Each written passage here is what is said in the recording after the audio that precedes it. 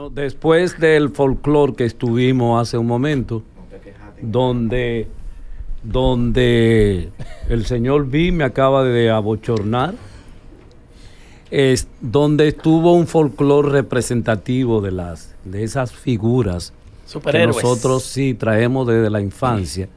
Y bueno, como que también se le da el, el visto bueno de lo que nosotros vivimos en estos programas ya como adultos. pero lo vi, a ustedes como dos niños ahí. Sí, pero el día de hoy nosotros hemos también conseguido eh, no esos regalos de la infancia, sino el regalo de la adultez que puede conducir a que las personas tengan eh, la capacidad de poder resolverle situaciones a otras personas que están en silla de ruedas o que probablemente van a estar en silla de ruedas. Y resulta que con nosotros está un dominicano que es la referencia en términos de la especialidad que tiene, la referencia en Europa y en Estados Unidos con relación al desarrollo de una técnica que este profesional graduado aquí en República Dominicana, pero que se ha desarrollado en Europa y específicamente en España, nos va a explicar a nosotros ese, ese hito, esa, ese, ese ego que nosotros necesitamos escuchar, ese, esa queja que nosotros siempre decimos y nos autocriticamos. ¿Qué somos nosotros? ¿Hacia dónde vamos nosotros? Y eso, 300 eh, millones de dominicanos que tenemos fuera, eh, realmente dan la oportunidad de cambiar muchas cosas. Y nuestro invitado justamente es de esos profesionales que está haciendo el cambio y que está poniendo nuestra república en un sitial totalmente diferente. Y a mí me gustaría que el doctor Sidney Espinosa Morales. Morales pueda realmente hacer la presentación de nuestro invitado el día de hoy. Sí, Eladio, es muy importante lo que tú dices, porque el recetario se caracteriza no solamente por tratar temas médicos de importancia y de salud pública, sino traer invitados que han tenido eh, prestigio y han inventado cosas nuevas y han incursionado en técnicas nuevas, tal como la semana pasada traíste otro dominicano que ganó un premio en cirugía plástica y el doctor Edwin Pantaleón se graduó en, de la universidad aquí en Unive, es colega de, Héctor y de... Y de líderes. De Guillermo. Y estudió, hizo la ortopedia en la universidad, en el hospital de Belviche, en Barcelona, y actualmente jefe del servicio de ortopedia en San Roque. Y es importante resaltar que los médicos dominicanos, cuando tienen las herramientas, generalmente son pioneros y son líderes, porque también un ejemplo, el doctor Abreu, que hace 30, 30 años llegó a España y, fue jefe del servicio de gastroenterología en Puerta de Hierro. Actualmente el doctor está en, en Madrid, en San Roque, y ha incursionado en una técnica nueva, no solamente importante porque es mínimamente invasiva, o sea que con menos lesiones, menos eh, traumatismo para el paciente, como es la fractura de cadera, sino que el paciente se mueve inmediatamente. Y eso es algo que me sorprendió porque él me presentó unos videos de gente en la, en la mesa de cirugía parándose después de la cirugía. Y todo el mundo sabe, los viejitos cuando lo operan de cadera, todo el tiempo que pasan para. Sí, y, se, y, Dos y, tres semanas duran para Y muchos no se paran más. Entonces, vamos a darle la bienvenida al doctor Edwin Pantaleón. Y vamos a dar un aplauso. Bienvenido, doctor Pantaleón. Como hacen en, Esto No es Radio, ¿no? muchísimas, muchísimas gracias a, todos por la presentación y la, amabilidad. Para mí es un placer estar aquí con ustedes compartiendo el día de hoy. ¿En qué consiste eh, tu especialidad? y antes de entrar en esto, ¿Cuál es la función de la cadera en términos de movilidad, en términos de esa necesidad humana que tiene la cadera? Eh, la cadera es una articulación eh, muy importante porque la cadera forma parte de lo que llamamos el complejo espino pélvico.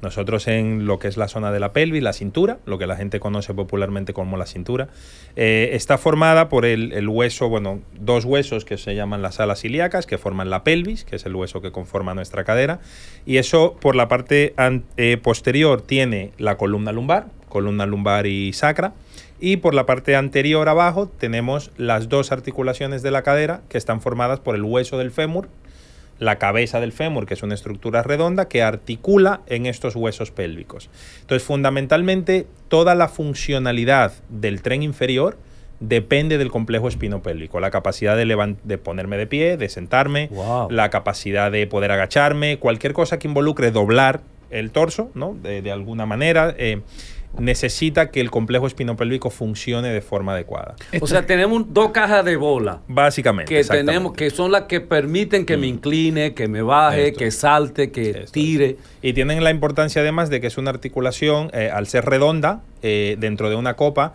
permite una movilidad en todas direcciones. A diferencia de la rodilla, que la rodilla solo se dobla o se estira, la cadera tiene una movilidad amplia, por eso podemos pues abrir las piernas, cerrar las piernas hacia adelante, hacia un lado, hacia arriba.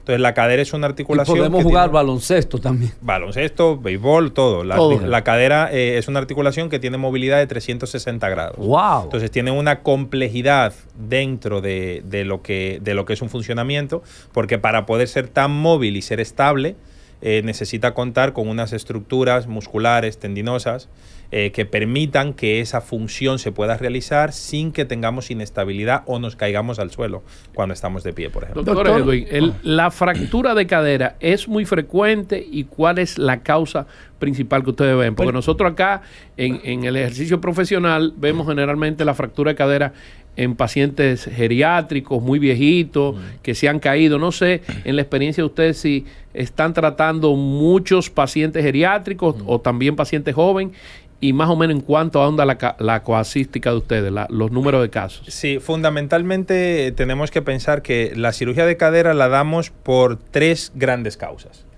La causa fundamental en el paciente muy mayor, se debe a la lesión por fractura. Habitualmente la fractura se produce porque el anciano se cae.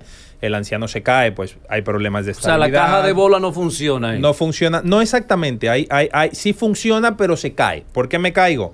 Me caigo porque tengo problemas de equilibrio, porque, tengo, porque me tropiezo, porque no veo bien. O sea, una serie de situaciones que llevan al paciente anciano al tener un mayor riesgo de caída. Y por el desgaste de los huesos es por la edad. Por supuesto. Ese, ese sería, digamos, el segundo gran grupo. Ese primer gran grupo, que son las fracturas, se pueden dar en pacientes que incluso tienen la cadera sana, pero al caerse se rompen. Entonces tenemos que oh. repararla. ¿Por qué tenemos que repararlas? Porque si no se repara, tú obligas al paciente a estar de dos a tres meses encamado y en un paciente anciano sabemos que la mortalidad aumenta un 160% si los encamamos. Entonces sabemos que en menos de un año prácticamente se mueren todos. Entonces los tienes que operar. Ay, mamá, sí. Los tienes que operar. Ese es el primer gran grupo. El segundo gran grupo es el desgaste. Como tú bien dices, el paciente que tiene un problema de deterioro del hueso, que también viene por la edad, por la edad. lo que llamamos artrosis.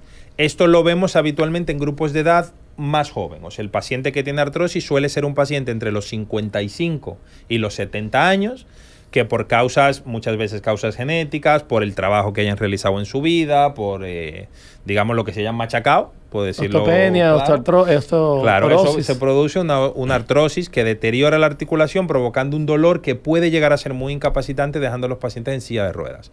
Habitualmente la artrosis, una de las características que tiene es que es bilateral, como se debe al desgaste por la edad, casi siempre se presenta en las dos caderas. ¿no? El que se cae se rompe una, pero el que se desgasta se desgasta las dos. Entonces son pacientes que suelen estar más incapacitados. Y el tercer gran grupo, que representa un 15%, son los pacientes que presentan deformidades de la infancia. Y que a medida que crecen esas deformidades van provocando problemas de movilidad que también tenemos que reparar. ¿No tienen muchos pacientes jóvenes con accidentes o traumatismo por accidente o práctica de deporte que ustedes operen? Porque me imagino que eso debe ser importante para pacientes jóvenes y deportistas porque se recuperan enseguida. Sí, pero habitualmente con el deporte eh, no necesitamos hacer un reemplazo de la articulación. O sea, cuando tú reemplazas la articulación es cuando ¿Qué, tú ¿Qué significa eso, reemplazar la articulación? Cuando tú reemplazas la articulación es cuando tú quitas el hueso natural del paciente y lo sustituyes por una pieza metálica lo que llamamos una prótesis. Que La hace cabeza del fémur, la La cabeza- cabeza, del fémur y la, y la parte que articula también de la copa. O sea, la cabeza del fémur va dentro de la copa y se mueve. Nosotros quitamos la cabeza y ponemos un sustituto metálico. Y luego en la parte de la copa ponemos una pieza en forma de Metálico, copa. dice usted, doctor. ¿Qué tipo Sí. de metal es plati- eh, Pero eh, utilizamos titanio. Titanio. Habitualmente se usa titanio y la cabeza que hace lo que llamamos el par de fricción, que es la zona donde se mueve, suele ser de un, un polímero de cerámica que nos da una... Cerámica también. Sí, porque la cerámica tiene un muy Ah, bajo pues somos robots, de lo que usted está poco, armando. Más o menos. Nosotros tenemos muy poca, la cerámica tiene muy poco residuo, entonces permite una durabilidad muy larga. Hoy en día los implantes que utilizamos sobreviven por encima de los 30 años. Wow. Entonces, esos pacientes, ¿ustedes también lo operan sin reemplazo o no, no tienen que operar? No lo, El paciente más joven, habitualmente cuando tiene un problema, si podemos repararlo sin necesidad de reemplazar, entonces utilizamos técnicas laparoscópicas, la, te- la famosa camarita, y entonces reparamos las estructuras dañadas sin tener que cambiar la articulación nativa del paciente, que es si puedes preservarlo en paciente joven, lo intentas. ¿Con Doctor esta misma Pantaleón. técnica? ¿Con esta misma técnica mínimamente invasiva o usan la Mm. A ver, paroscopía? se usa la paroscopía, que también es ¿Y considerada por una dónde se mete la camarita esa? Eh, doctor, disculpen, eh, antes que sigan ahí, Mm, esa bola eh, en cerámica que sustituye la cabeza del fémur, mm. ese, como quitan en la cabeza del fémur, me imagino que va insertado con un tornillo pegada a donde estaba la cabeza del fémur. No exactamente. Lo que se pone es una pieza. Tú piensas que el fémur, todos los huesos por dentro tienen, eh, son cilíndricos, ¿no? Correcto. Son una especie de, de caña de bambú, si lo pensamos. Oh. O, entonces, por dentro el hueso tiene lo que conocemos como, ¿no? Bueno, el tuétano que tiene como el hueso de un Sí, pollo. Por dentro está, está, esto es- llamamos la medular, es algo muy blando. Entonces, nosotros lo que ponemos es una pieza que se adapta al tamaño del cilindro del hueso del paciente y entonces eso entra. Eh, básicamente a presión, por eso de alguna manera. Y todo eso es cerámica. queda- no, todo No, no. eso es titanio. Titanio. Titanio, Cerámica es solo la bola. Eso es lo que decía, Pero la- el titanio lo que hace es su integración. Esto es, el titanio es lo que permite que el hueso crezca alrededor del Eso es lo que quería tener claro. provocando El osteointegración. titanio ¿Y la lo fricción? los, los palos de golf utilizan titanio también, algunos No palos lo de golf. sabía. Sí, No sí. lo sabía. El titanio es el único material eh, metal que hace la osintegración. Significa que cuando hay un trauma, las células óseas se activan y van al sitio. Entonces, Eso lo descubrió un, un médico ortopeda, eh, Brandemark. en doctor, 85. entonces el, el cuerpo no rechaza esos eh, aditamentos que se introducen. En este caso no, hay, existen casos muy excepcionales, hablamos de menos de un 1% de pacientes que son alérgicos a los metales. Entonces hay algunas Wow. aleaciones. Alérgico a los metales. Hay algunas aleaciones como el cromocobalto, que se utilizaba anteriormente, que pueden provocar una reacción de rechazo. Pero a día de hoy, lo- el titanio que utilizamos está diseñado precisamente para no causar reacción inflamatoria. Y de hecho es un titanio poroso, parece como una esponja de metal, que cuando lo ponemos el hueso crece dentro de esas cavidades de la esponja. Entonces la sensación que tiene el paciente es que el implante es parte de su propio cuerpo. Es lo que llamamos cadera olvidada, que el paciente te dice, hay días que no me acuerdo que me han operado. O sea, una vida tan normal que no me acuerdo que me han El operado. es que sucede lo mismo que los implantes dentales. El doctor Percival Brandemark, en el año 85, un médico sueco ortopeda, que Dios lo tenga en gracia, fue que descubrió la integración en los titanios. Él necesitaba un tornillo para su fra- la fractura de sus pacientes. Y entre muchos tornillos, encontró cuando lo mandó que las células óseas, cuando llegaban al sitio donde se hacía el trauma, ¿eh? no se daban cuenta y se pegaban vivas. Y lo, lo bautizó como óseo integración. Óseo, hueso, integración. ¿Y cuál pega. es el origen lo de ese- de ese Y material? lo acepta el, el, el, el titanio, el hueso. Sí. Eh, eh, ¿Cuál es el origen? O sea, yo, yo no visualizo esa introducción de ese metal en la cadera de una persona. A ver, el, el las prótesis de cadera básicamente le inventó un señor que se llamaba Chanley, eh, el doctor Chanley, que fue, esto estamos hablando de antes del 1900, en el año 1898 Wow. ya se estaban experimentando, claro, eran unos diseños extremadamente rudimentarios que se perfeccionaron mucho durante la Primera Guerra Mundial para intentar pues resolver estas lesiones tan severas de guerra que habían. Y entonces ahí se empezaron con unos diseños pues, muy toscos, unos metales, eh, pues se, us- se usaba básicamente acero, eran, eran metales que pues causaban mucha reacción inflamatoria, que duraban pocos años, qué tal, pero que en su momento era lo único que teníamos, era, Y- era y eso. resolvían. Y resolvían, era eso o te queda en silla de rueda. Entonces ahí sí fue que empezó todo y obviamente hay un componente importante que es la, in- la industria farmacéutica, al fin y al cabo, es la que entre ellos compiten y pelean para desarrollar implantes cada vez mejores y cada vez más Ok. duraderos con, con tal de poder quedar en el mercado, ¿no? Entonces, gran parte del desarrollo de materiales y de la ingeniería de materiales viene de la propia industria, que, Ok. que nos la da en conjunto, por supuesto, con la investigación médica Claro, que lo permite. claro. Hay un video que usted me presentó, doctor, fuera de, de cámara, que yo veo que los pacientes, usted lo opera y lo moviliza inmediatamente. La pregunta mía es, en caso de fracturas minutas y múltiples. ¿el resultado es igual o hay otro tipo de tratamiento? Exactamente igual. Si el, afect- si el problema es la cabeza del fémur, lo que se ha roto, porque tenemos que distinguir que si el fémur se rompe más abajo, entonces ya el problema no es de la cadera. Entonces ya ahí tenemos que reparar el fémur con las técnicas específicas para ello. Pero cuando hablamos de la cadera como articulación, si el daño es en la cadera, porque no importa el nivel de daño que tenga la cabeza, porque yo la quito. O sea, la cabeza va afuera. Yo pongo un sustitutivo nuevo, entonces la funcionalidad es la misma. Lo importante en la función en las articulaciones es la preservación muscular. Lo que nosotros hemos conseguido con esta técnica que no teníamos previamente es la preservación de todo el aparato muscular. ¿Qué ¿Y por tiene qué que el ver la paciente, técnica? escúchame, Ladio, ¿por Sí. qué el paciente no tiene dolor? Porque eh, Eso- tú lo pregunta- movilizas y, y a mí me sorprendió porque yo he visto pacientes que los operan, como usted mismo dijo, de cadera y a veces lo, inmo- lo- quedaban inmovilizados y muchos ni, ni se paraban porque tenían mucho dolor. ¿Por qué esa técnica no le produce el postquirúrgico, no, no tiene ningún tipo de dolor? Esa pregunta es buena. Porque el hueso no duele. O sea, cuando nosotros nos rompemos un hueso, Ajá. las terminaciones nerviosas del hueso están en la cobertura superficial que se llama el periósteo. Ok. El hueso dentro no tiene terminaciones nerviosas. Oh. Entonces, si tú, por ejemplo, te rompes un hueso, por eso cuando te rompes un hueso y el hueso, la fractura la ponen alineada y te ponen un yeso, se te quita el dolor. Porque si, si no hay movilidad en el periósteo, no hay dolor, porque no hay, no hay una afectación No hay desplazamiento. Exacto. Entonces. ¿qué es lo que sucede? Lo que nosotros hacemos, lo que le provoca el dolor al paciente después de la cirugía es el daño muscular. Cuando se opera la cirugía de cadera tradicionalmente, igual que la rodilla y la mayoría, se hace mucho daño al aparato muscular y tendinoso. Esto afecta a la circulación, hace que el proceso circulatorio sea más lento, afecta la inervación, los nervios producen una reacción inflamatoria porque se ha hecho daño muscular.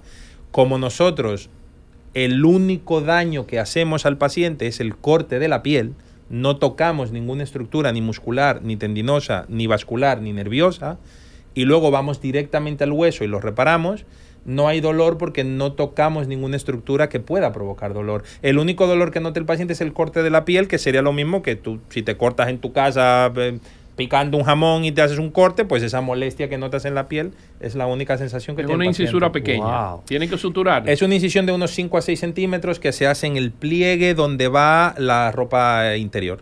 En el pliegue del muslo, el pliegue superior del muslo. Los pantaloncillos. Exacto, y luego estéticamente eh, a los tres meses no se ve porque es una línea muy fina y eh, habitualmente la cerramos con sutura intradérmica que usan los plásticos para que no quede residuo estético tampoco. Wow. ¿Cuál es la referencia en este momento que usted tiene allá en España con relación a ese a esa práctica que realiza?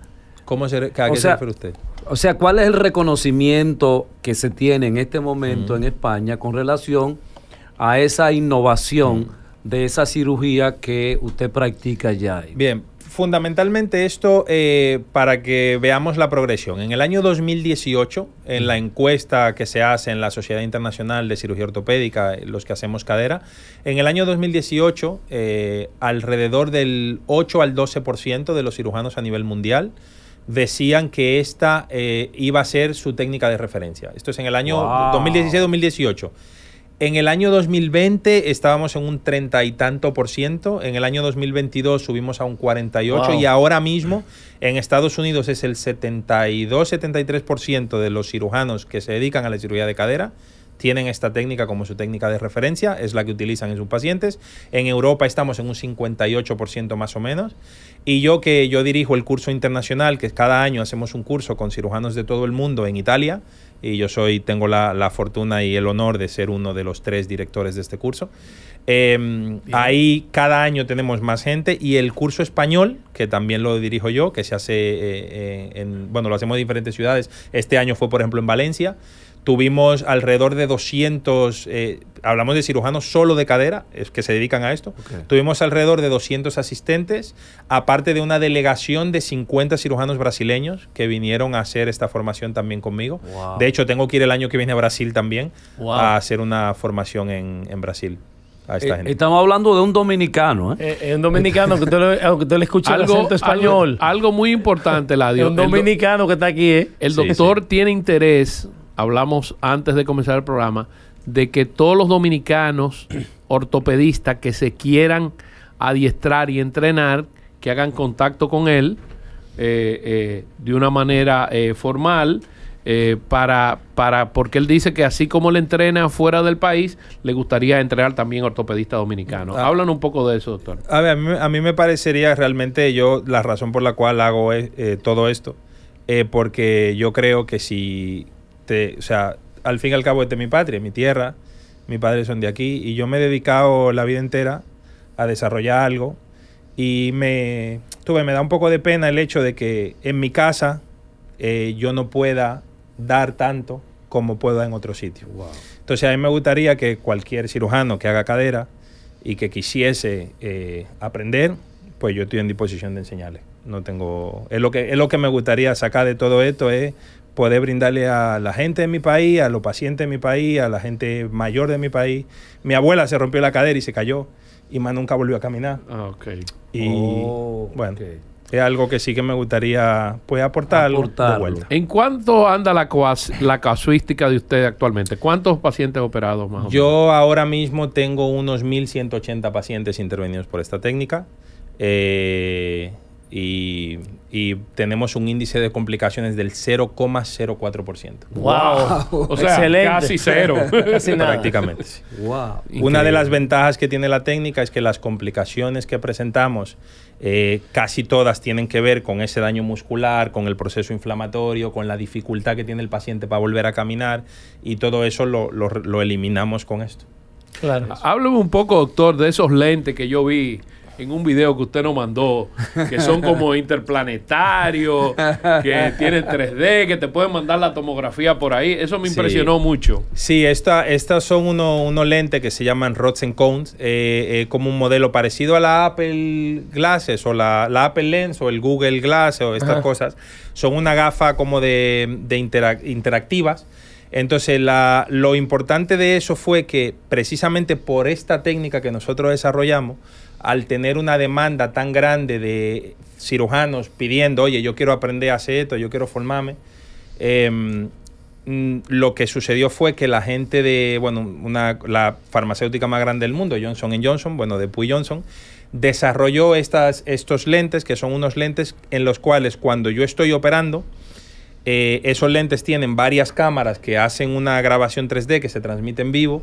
Yo tengo también un audífono que el cirujano que está viendo la cirugía puede preguntarme y tengo Wow. ahí y tiene como un visor que cuando si ellos tienen una pantalla táctil que por ejemplo si ellos ven una estructura y me, me quieren señalar algo me dicen esto qué es a mí se me marca en el campo quirúrgico dentro de la gafa para yo saber lo que me están señalando Wow. entonces, lo más, lo más importante del Rods and Cones fue que, aparte de el uso experimental para probar en Estados Unidos, yo fui el primer médico de Europa, Oriente Medio, Asia y África, o sea, de toda la otra mitad del mundo.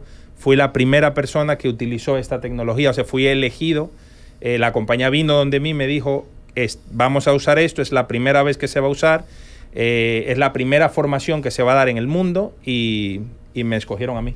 Y hay Wow. posibilidad de que, por ejemplo, alguien esté operando en Brasil o en República Dominicana y a través de los lentes puedas eh, pedirte eh, eh, instrucciones y tú Ayuda mandarle eh, un- Sí. a- algún consejo quirúrgico. Sí, perfectamente. De hecho, está diseñada para precisamente para eso, tanto para dar Pero- formación pero- yo como, como que el que esté operando las tenga y yo pueda irle dando indicaciones eh, a medida que opera. Inteligencia Wow. artificial. Vamos señor. a hacer una pequeña pausa para continuar eh, escuchando las novedades del mundo eh, con relación a este dominicano Increíble. que realmente se ha destacado en el mundo.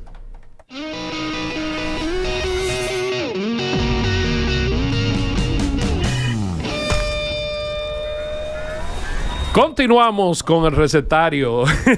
Eladio le quité, le quité la palabra. Hacía mucho que no decía. Continuamos con el Eso recetario.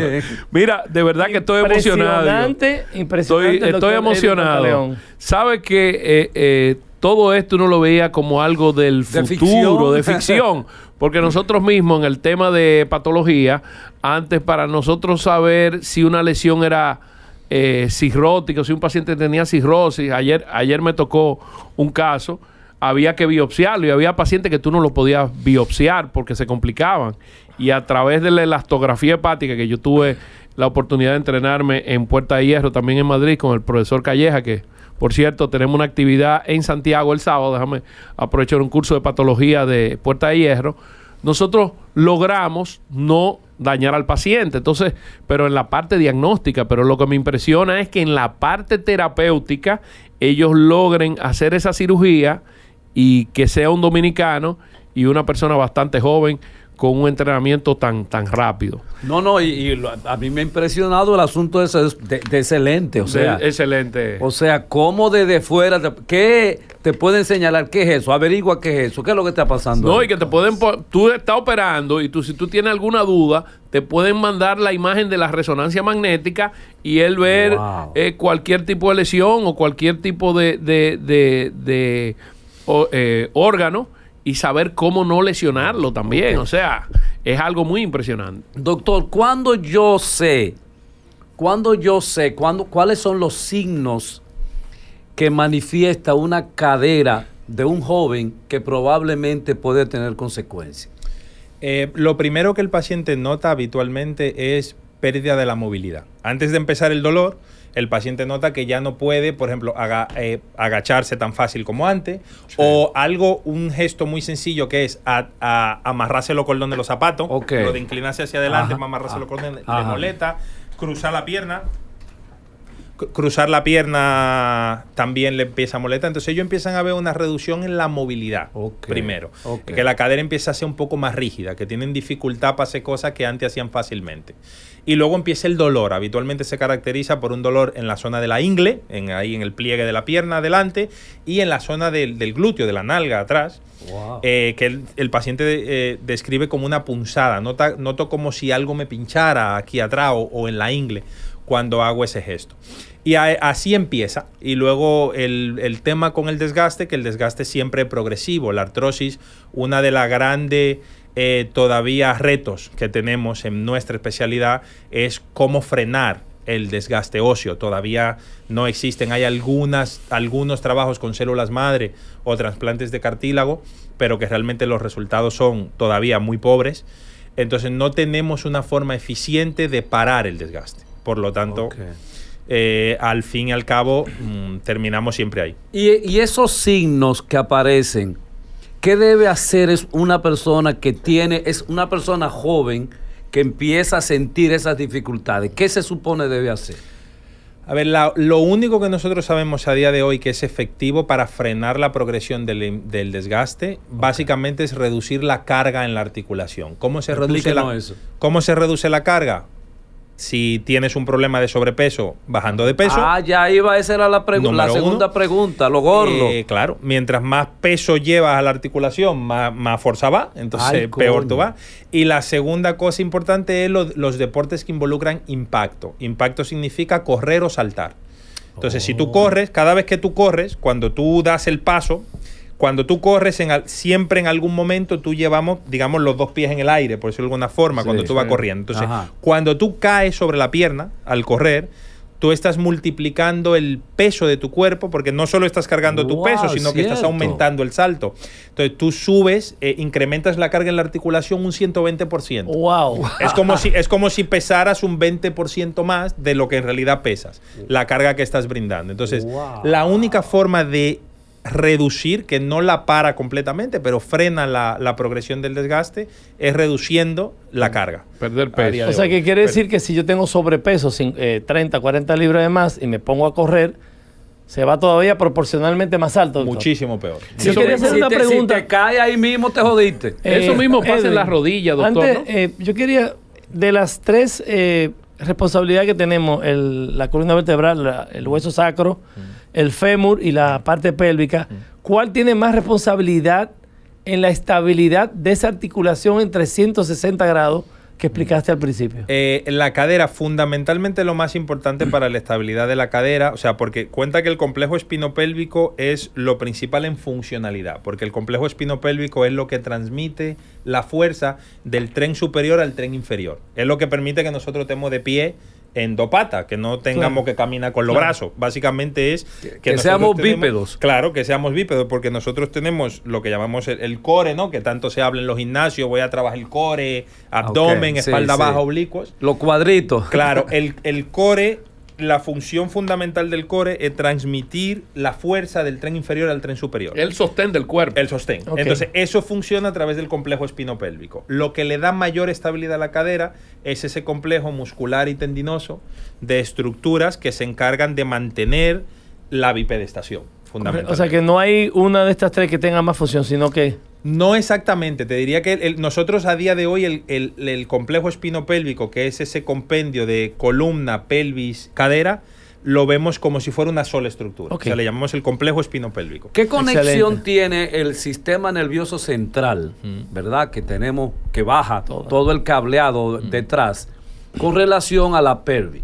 Bueno, en la, de la zona lumbar es donde salen todas las raíces nerviosas que forman la sensibilidad y la motricidad de las piernas. Sí. El nervio ciático nace de las raíces nerviosas que salen de las vértebras lumbares y se juntan y forman el nervio ciático, que es lo que le da toda la función motora y sensitiva a las piernas. Si nosotros tenemos un problema, la gente que tiene una hernia en la espalda, en la zona de la espalda baja, en la lumbar, pues tiene dolor en la pierna, tiene problemas para caminar, tiene debilidad en las piernas. Si usted tiene un problema en la médula espinal, que está en la columna, pierde la función de las piernas. Entonces, claro, ahí el aparato, eh, mm, no solo el aparato músculo-tendinoso, sino la parte pues sensitiva y motora, depende también del complejo espinopélvico. Doctor eh, Pantaleón, ant- eh, cuando estaba hablando del sobrepeso, pensé en la rodilla, Mm. porque muchos pacientes también se quejan de dolor de rodilla. ¿Hay alguna técnica futura que ustedes estén eh, viendo que se pueda implementar en otro tipo de cirugía de, para, para otras articulaciones? Sí, nosotros hay, hay dos cosas fundamentales. La rodilla tiene el mismo problema, la diferencia es que la rodilla puede ser muy dolorosa. Eh, Cuando la rodilla se deteriora, el paciente puede tener mucho dolor, pero habitualmente la, la rodilla no es absolutamente incapacitante. Cuando el paciente no le funciona la cadera, se queda en silla de ruedas. El paciente que tiene la rodilla mal le duele, Le duele. pero bueno, va caminando, a Aunque veces, sea- aunque sea. Sí. a veces coge un batón y vaina, pero el que tiene la cadera mal se queda en silla de ruedas. No, no, no, no hay, no, no, no progresan. Entonces, en las rodillas, nosotros qué estamos haciendo ahora, una cosa importante en la rodilla es que la rodilla, eh, nosotros lo que estamos haciendo es que en vez, lo que, la solución que teníamos hasta ahora era sustituir, igual que como ponemos una prótesis en la cadera, ponemos una prótesis en la rodilla. Ahora lo que estamos haciendo es lo que llamamos sustituciones parciales, que es, en vez de cambiar toda la rodilla del paciente, con los problemas de recuperación y de estabilidad que eso pueden tener, si el paciente tiene solamente una zona, una parte de la rodilla que está afectada, estamos haciendo lo que se llaman prótesis unicompartimentales, que es que sustituimos con una cirugía también mucho más pequeña solamente la parte dañada, lo que permite una recuperación muchísimo más rápida y menos dolorosa. Ahí meten metal también. Ahí metemos metal. también. Entonces, ¿qué Siempre, siempre el titanio. Siempre metal. Rótula, menisco, ¿qué pueden Depende. sustituir? Por ejemplo, si lo que yo tengo es un daño en lo que llamamos el compartimiento interno, que es la parte interna de la rodilla, pues sustituimos solamente el compartimiento interno, o sea, el menisco interno con el cartílago de la parte interna. Y todo lo demás, ligamento cruzado, ligamento laterales, no tocamos nada de esto. Esto permite que el paciente tenga lo que llamamos una propiocepción, que es esa sensación de que mi rodilla yo la controlo, por decirlo de alguna Sí, manera. sí. Eh, la propiocepción es mucho mejor mientras menos estructuras tú toques. Y eso es lo que estamos buscando con la cadera, eh, con la rodilla ahora es esto. Intentar sustituir un poco lo que pasa es que sí que le digo, para serle completamente sincero, que yo los últimos cinco años, fundamentalmente, como he estado tan concentrado Sí. desarrollando el tema este de la cadera, en la rodilla, a pesar de que trabajamos con ella, pues yo tengo otros compañeros que se dedican más a la rodilla porque yo he estado muy concentrado en pelvis. Eh, porque no es solo, yo no solo hago sustitución, yo trabajo tumores óseos, yo hago implantes de hueso en cadavérico en pacientes con defectos óseos, trabajo accidentes, eh, o sea, que la cirugía pélvica es muy compleja y habitualmente tienes que dedicar toda tu energía a eso. No, y, que, y que fuera aquí el adio, cada quien se dedica a una área específica. No es como nosotros aquí que tenemos, por ejemplo, que hacer eh, gastroenterología. Bueno, tenemos que hacer toda la vía digestiva. Fuera aquí hay alguien que se dedica a intestino delgado, colon, Sí. Sí, sí, hígado. Entonces, e- eso le permite también a ellos Sí. perfeccionar más y Mayor dedicar más, seguridad más- para la mayor salud, seguridad, sí. lógico. Así es. El- lo que le iba a comentar es, en base a la experiencia que tenemos, que usted tiene, y hablando de prevención, o sea, el cáncer, deje de fumar, eh, un sinnúmero de cosas. Preventivamente hablando, es hereditario. ¿Qué puede hacer uno? ¿Cómo podemos descubrir? ¿Cómo podemos hacer un- una evaluación para que no se llegue ese paciente a hacer una... Si es hereditario. si es hereditario o, Ajá. o una persona que está en, su oficio, hace ejercicio, pregunta. no sé, preventivamente, ¿qué puede hacer, eh, podemos hacer para no llegar a, hacer- a tener que tener un implante de... A ver, lo, lo fundamental, como dije, es reducción de la carga. Entonces, eh, la gente no sabe, eh, bueno, yo creo que hoy en día ya es muy conocido, todos sabemos el problema que tiene el sobrepeso y la obesidad en la salud. Y eso pasa lo mismo con los huesos. La gente obesa tiene muchísimo más problemas de salud y además tiene soluciones mucho más difíciles y pasa lo mismo con las articulaciones. El obeso sufre más desgaste, el obeso eh, tiene más problemas de dolor, el obeso tiene una recuperación más lenta, tiene más probabilidades de infección. Entonces, en realidad es fundamental, fundamental la reducción de la carga. wow. Ya, ya, ya. Y luego, aparte de la reducción de la carga, Él cree que es flaco yo- ahora. Aparte de la reducción de la carga, yo creo que también depende, o sea, la, la actividad que nosotros hacemos como actividad lúdica, como entretenimiento, como actividad deportiva, eh, si podemos elegir una actividad de bajo impacto por encima de alto impacto, eso siempre será recomendable. Y luego existen hoy en día, ya hay productos en el mercado eh, que contienen colágeno, que tienen ácido hialurónico, que tienen una serie de eh, sustancias que ayudan a prolongar la supervivencia de la articulación. Y eso es algo que a partir de los 50 podemos empezar a utilizar. De hecho, Vía a día oral, de hoy... vía O sea, vía oral. vía oral. Y de hecho, a día de hoy, por ejemplo, hay un producto, el ácido hialurónico. El ácido hialurónico es eh, el lubricante de la articulación. Nosotros en las articulaciones tenemos un líquido que se llama el líquido articular, que es el que ayuda a que todo se mueva más suave, como el aceite del carro. Entonces, eso, Eso, es, eso lo tenemos todo. eso lo tenemos todo y en todas las, las Está articulaciones. de moda el ácido hialurónico. Entonces, ¿eh? eso está formado fundamentalmente por ácido hialurónico. El ácido hialurónico a día de hoy lo tenemos de forma sintética y lo inyectamos en las articulaciones. Entonces, los pacientes que empiezan a presentar desgaste, uno de los principales problemas de desgaste es que se reduce la producción de este ácido. Y nosotros lo que hacemos es que lo suplementamos desde Oye, fuera. eso. Inyectamos al paciente, le ponemos, como el que le cambia el aceite al Sí, carro, sí, sí. le ponemos aceite nuevo. Incluso a día de hoy, Qué los bien. atletas de alto rendimiento, eh, gente futbolista, eh, jugadores de baloncesto, esta gente, nosotros a día de hoy, al inicio de la temporada, ya los estamos viscosuplementando, aunque no tengan dolor, solamente para proteger esa articulación Wow. a largo plazo. por eso tú tienes gente. eso es inyectado. es inyectado, pero por eso tú tienes gente de 40 años todavía jugando en la NBA, cuando hace 20 años esto era impensable, ¿no? Doctor, ¿trote lento o marcha rápida? mejor marcha rápida, porque la marcha no tiene impacto. Correcto. La marcha no tiene impacto. Gracias. ¿Por qué regularmente una persona después de los 70 años, 75 años, si se cayó, se rompe la cadera y no vuelve a caminar? ¿Qué es lo que pasa? Que no vuelva a caminar, ahí es donde vamos a tener eh, la diferencia. ¿no? Eh, ¿Por qué se rompe la cadera? Hay osteoporosis. La edad produce osteoporosis. Osteoporosis es cuando el hueso se debilita a consecuencia de que el cuerpo pierde la capacidad de metabolizar correctamente el calcio. Entonces, si yo no tengo, si el, o sea, yo puedo consumir calcio, yo puedo tomar leche y comer queso y tomar productos que tengan calcio que me recete el médico, pero si mi cuerpo no tiene la capacidad de metabolizar ese calcio e introducirlo en el hueso, eso se pierde con la edad. Entonces, cuando yo pierdo calcio, se pierde con la edad porque con la edad perdemos anabolia, por lo mismo por lo cual perdemos la capacidad de producir músculo. Es mucho más difícil, mientras más viejo tú te vas haciendo, el poder desarrollar musculatura, ¿no? Entonces, si tú no tienes calcio, el hueso se debilita. El hueso se debilita, se rompe más fácil. Entonces, si yo me caigo, me rompo. Un paciente joven se cae, no se rompe porque tiene un hueso muy duro. El paciente mayor se cae, una caída sencilla, eh, va caminando, se tropieza y se cae, se rompe la cadera. ¿Qué pasa? Hay excepciones porque, Se tiene que cuidar, eh, Hay, no, hay se tiene excepciones que cuidar, Guillermo. Un, un amigo, un amigo de Yo se cayó aquí por la escalera y no le pasó le pasó nada. nada, claro. Y es obeso. Continúe, doctor. No, y, no, pero ya tiene, él tiene una fractura de cadera. Ah, bueno. Él tenía una fractura de cadera. Entonces, ¿qué pasa?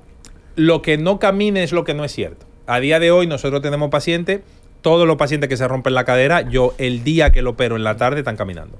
Eso que no caminan no es verdad.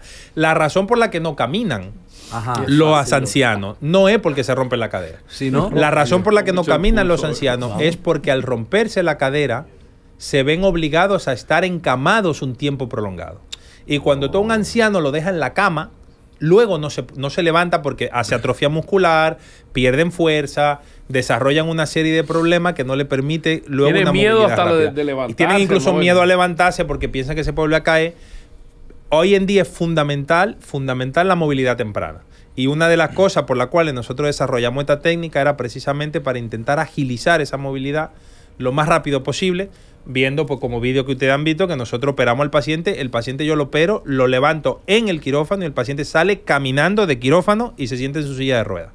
Entonces, se Esto no es fantasía. No, no, puedo, tengo los videos ahí, no, no es fantasía. Lo vi, no, lo vi, los videos Sí, lo vi. sí, Ah, ahora, algo Ah. que algo que ustedes siempre hacen, independientemente de la mínima invasiva, era que los pacientes que lo operan, los ortopedistas, siempre tratan de levantarlo lo más rápido posible. Fundamental. Porque hay un tema ahí de, de cuál es la causa principal de la movilidad rápida. Claro, ese es el tema. La movilidad temprana, como yo decía, es, fundamental. ¿Qué pasa? Si yo te opero y te corto todos los músculos, todos los tendones y todo lo que tú tienes por ahí dentro, cuando tú te quieras levantar no va a poder. No va a poder. Entonces tú vas a tener un problema en desarrollar movilidad temprana porque tú tienes una serie de estructuras que están dañadas. Si nosotros evitamos ese daño, entonces yo te levanto ese día, Bueno. como hacemos. Ustedes en, en- en- en No los casos que ustedes han visto eh, han tenido la, la complicación de ese 0 punto, dijiste 0 punto, 0,04, sí. ese 0,4, de ¿qué ha sido la complicación? Pues la más frecuente que podemos tener es un caso de infección de herida quirúrgica. De 1.150 casos tenemos 4 casos de infección. Eh, El 0.0 que se Sí, 0,04. Tenemos 4 casos de infección. Y eh, tenemos un caso de una paciente que tuvo una dislocación de la prótesis. Tome en cuenta que con la cirugía tradicional de prótesis de cadera, el índice de dislocación después de la cirugía está alrededor de entre un 3 a un 7%. Y en, nosotros, en- en- en en la España, en aquí España. anda por encima de un 10%. Eh, pues allí está entre un 7% más o menos. Sin embargo, esta técnica, precisamente como no se corta ningún aparato muscular y la musculatura es lo que estabiliza, el índice, pues yo tengo un caso de luxación en ciento, en mil, ciento y pico casos. Wow. Vamos a de nuevo a hacer una pausa y regresamos para esta conversación que está sumamente importante y, y- es unos aportes que uno tiene que pensarlo. Y el- la, lo que está diciendo el doctor en poder brindar, y, vamos a, a responsabilizar a Sidney, poder brindar un entrenamiento, un conversatorio con los cirujanos dominicanos, Ya. es para nosotros. Ya hicimos la parte más ya- importante ya tenemos el de- contacto con de el la que él parte se va con- altruista y, y lo que él quiere en su país. Regresamos.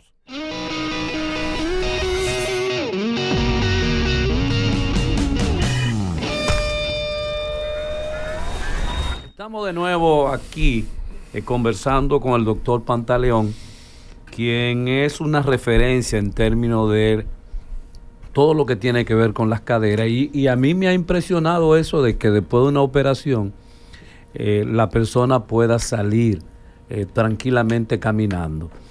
Este, en, en términos de lo que es la realidad nuestra, Sidney Guillermo, ¿cuál es la... eh, hay mucho porcentaje de personas con esta condición que no, ha- no, pue- no han vuelto a caminar?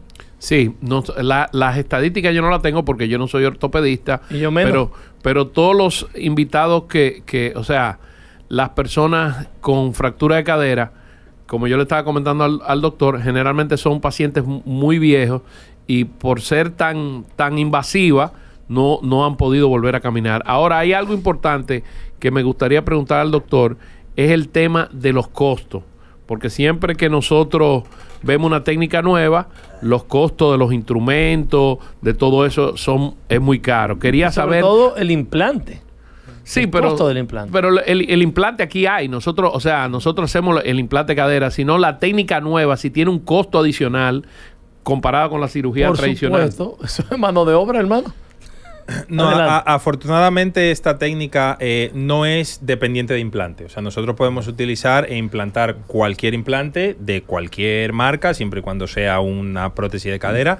Eh, esto es puramente técnico dependiente, o sea, es cirujano dependiente. No necesitamos eh, un material eh, más especial, no necesitamos comprarla en el hospital.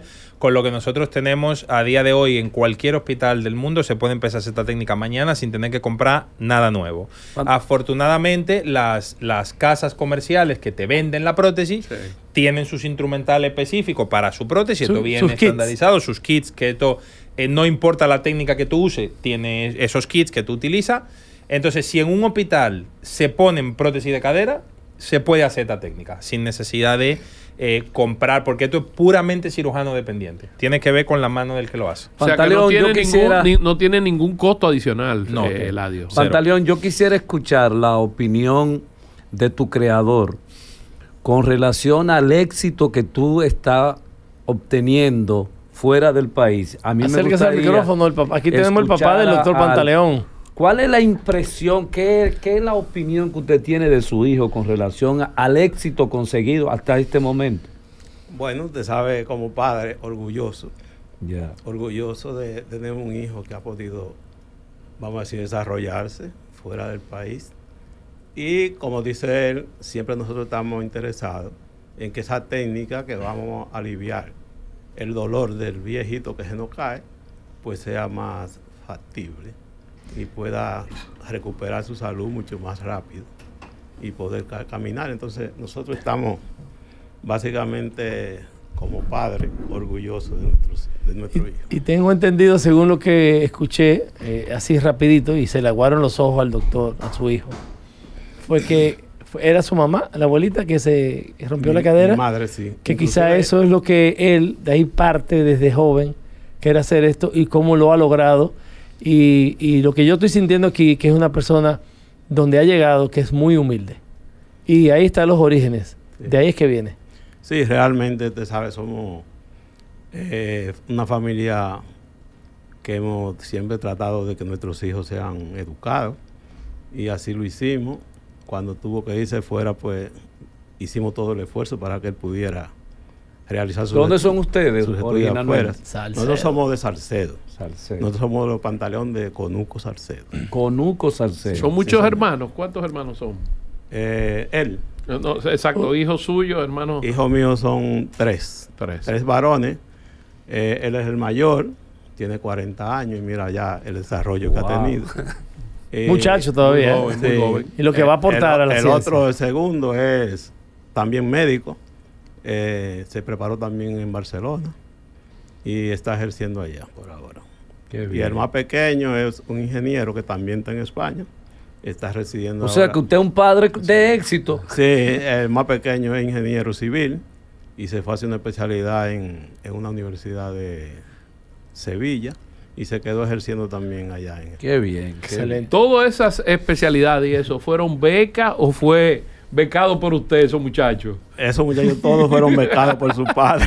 Gracias a Dios. Mucho, trabajando mucho. Y, Wow. Porque ya somos una familia que venimos del sector humilde. O sea, nosotros éramos gente pobre, vamos a decir. Yo soy el mayor de mi familia, de mis hermanos. Y vine a Santo Domingo y pude traerme mi familia completa. Y gracias a Dios, casi todos somos profesionales. Excelente. y hemos amén. podido echar nuestra familia adelante. ¿Usted tiene una profesión también? Yo soy contador público. Excelente. Trabajé mucho en el sector privado. Hace cuando la pandemia ya me retiré y vivo ahora en el campo donde yo nací. Ah, qué bien. O sea, se regresó. Regresé al campo y tenemos a- aquí nuestra vivienda también y pasamos tiempo allá y tiempo aquí. Excelente. Dependiendo de la necesidad que haya en el momento. Muy bien. Qué bien. este, este, vamos a escuchar el hijo entonces en términos del agradecimiento de ese padre, porque graduar tres hijos a- a- ya se ha convertido en- en, en una universidad europea. Yo no sé si la cámara eh, pudieron observar, los dos estaban llorando Sí. uno con otro. ¿eh? O sea, aquí hay una, Qué bueno, una qué relación. bueno, qué bueno. Lo que se respira aquí es eh, muy bonito, Sí. realmente. O sea, doctor. Bueno, yo no, nada más puedo darle la gracia, ¿no? A los viejos míos, que lo que han hecho es trabajar muchísimo. Y gracias a eso, pues hemos podido salir adelante y al final, yo lo, como digo, es intentar devolver algo a- al país, lo que se pueda. Lo que se Entonces, atención, atención, todo lo que tiene que ver con la, el área de ortopedia en el país. El doctor Espinosa se va a encargar de esto para que el doctor Edwin pueda ser un profeta en su tierra. Sí, ya vamos a contactar con el doctor Luis Alcántara, ortopedista, que lo hemos traído al programa y, y también fue... El doctor fue- Alcántara fue mi profesor de ortopedia de la Claro. universidad. Entonces, eh, a través de- del doctor Alcántara vamos a hacer los contactos para que ellos eh, sigan adelante con este, con este proyecto. Bueno, Excelente. ¿cuál sería la, la- tu exhortación de, de protección, de cuidado, que tú pudieras decir con relación a cómo proteger la cadera para no llegar justamente a quirófano? Bueno, yo creo que tenemos dos vías de protección. Tú tienes la protección del paciente anciano, es fundamental lo que llamamos prevención de caída. ¿Cómo se hace la prevención de caída? Pues los ancianos que tienen problemas de movilidad, tenemos que asegurarnos de que tengan la asistencia necesaria. Si un anciano... Eliminar las bañeras, ya las bañeras son un peligro para los ancianos. Un anciano que necesita una asistencia para caminar, oye, que si el anciano necesita un bastón, pues es que hay que darle un bastón, que si necesita un caminador, Un pues se le andador. tiene un andador, pues se le tiene que dar. El, ca- eh, usar un tipo de zapato adecuado, hay muchísimos zapatos con suelas rebalosas, con no sé qué, Ay, sí. que los abuelos se pueden caer, entonces tenemos que intentar hacer una prevención de caída, por un lado, y por otro lado, garantizar que ese abuelo tenga una buena eh, calidad ósea, que ahí es donde vamos con la prevención Una de los buena- calidad ósea, calidad del hueso Ajá. que es donde vamos con el tema del calcio, de la osteoporosis. Eh, hoy en día eso es muy fácil, eh, el aporte de calcio, hay una pastillita que se disuelven en agua y que cada día con una pastillita de calcio habitualmente garantizamos que el aporte de calcio que no obtenemos por la comida lo podamos obtener. Eso es fundamental. Si el abuelo tiene pre- una buena mm, prevención de caída y tiene un buen hueso, no se va a romper la cadera. Eso por el lado de la fractura. Y por el lado del desgaste, como hablamos hace un ratico, por el lado del desgaste tenemos que hablar siempre de eh, disminución de la carga, que fue lo que yo le comenté al doctor.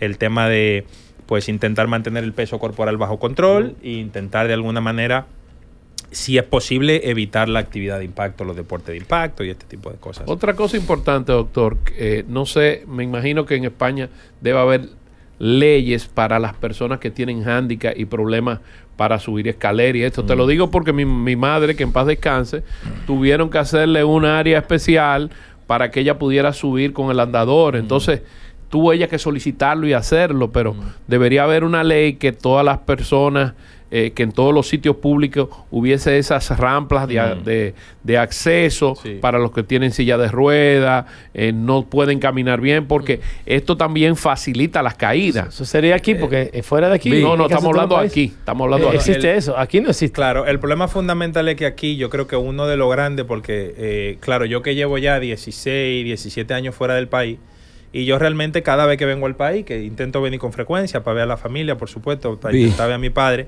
y yo puedo ver, se puede ver, yo creo que todo, todo el mundo es consciente de que pues, el país pues, ha ido progresando y hemos mejorado en muchas cosas y tenemos muchas cosas que no teníamos antes y hemos tal, pero yo creo que este país sigue teniendo una deuda importante con las personas de movilidad reducida.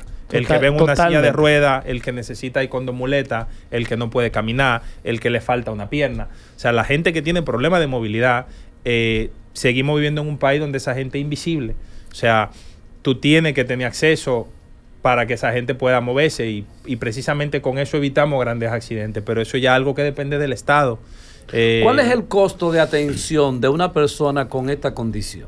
eh, Aproximadamente. Se, ¿Se refiere usted como en casa o, pa- o para la, la sanidad pública? Amb- ambas cosas. A ver, en casa eh, depende mucho de la casa en la que, de, digamos, de donde comience, ¿no? Porque eh, tú puedes adaptar una casa para una persona de movilidad reducida.